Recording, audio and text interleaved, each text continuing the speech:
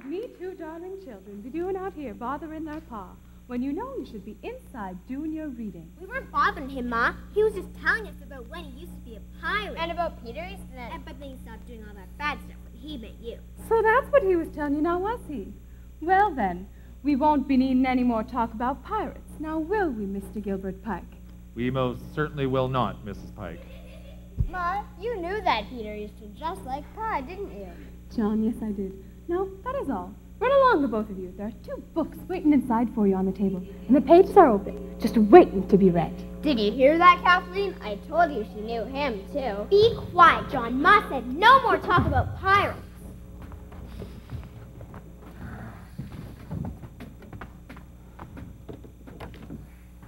Oh, Gilbert. Gilbert. Peter Easton? I want so much for all that to be behind us, but every time I hear his name, I.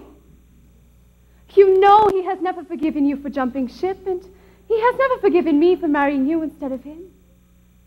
And we both know what will happen if he finds out that we're here in Carbonear. I'm sure he will. Someday. Sheila, my love, you have nothing to worry about. Even if Peter does come here, there are enough of us now, all good men, brave men, and we can defend ourselves and you, Sheila, against ten Peter Eastons. You know that. Yes, but it's the children I'm thinking about, Gilbert. I just want them to have something better. To be able to live here with no fear of a Peter Easton or whoever. That's all I've ever wanted for them, Gilbert. Every day, that's all I wish for.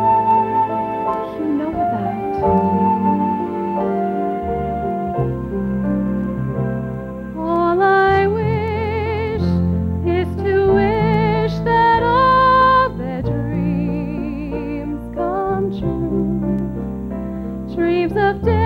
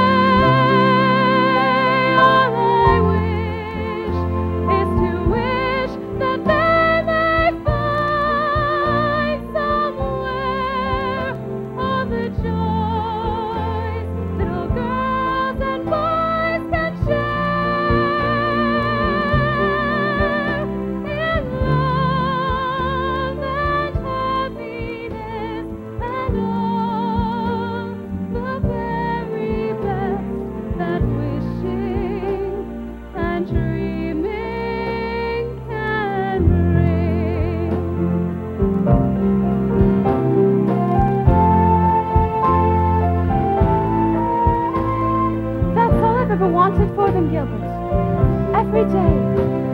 Nothing more.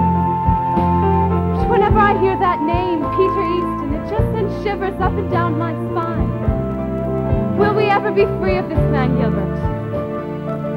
Sheila, my love, I can promise you only one thing that our children will never live in fear of Peter Easton or any other man.